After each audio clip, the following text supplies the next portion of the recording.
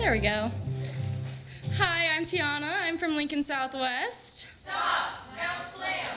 And this is my poem, Petals and Thorns. The rose symbolizes both love and fear. Complete opposites, yet they exist in the same space. Love is the petals. Love, a noun, an intense emotion of deep affection. Fear is the thorns. Fear, a noun, an unpleasant emotion caused by the idea that someone or something is likely to cause pain or a threat. I am a firm believer that the opposite of love is not hate, but fear. The door, the dividing line between these two, is trust. Do you love someone enough to open the door, or do you fear that so much you keep it bolted shut?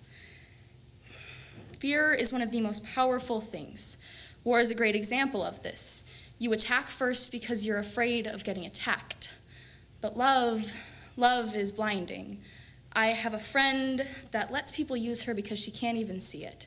She is so blinded by the idea of love, and people use that against her. Blind love is what happens when you hold a flower by the petals. You shouldn't ever hold a flower by the petals. Love can drown in fear. Fear being in control is what happens when you grip the flower by the thorns.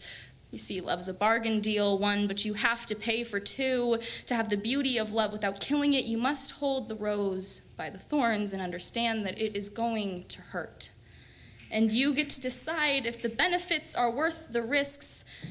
Love and fear used to work together on the same side of that door, the trust. I wonder how that worked, how the love was, how the rose was held without drawing blood. Fear used to be a protector until it decided to make love a prisoner, locking love on the other side of that door. Fear is running the show. You are gripping the thorns, but that doesn't make fear a villain. No, fear was just an angel that fell too far from the clouds. Fear had good intentions, but the bad thing about intentions is they're often left unspoken. Love was trapped in fear's protection. A prison by another name is still a prison. Love no longer got the light to grow. The flower shriveled up and died. Fear is the only thing that the more light it absorbs, the darker it gets. Fear, the fallen angel, was now only a siphon.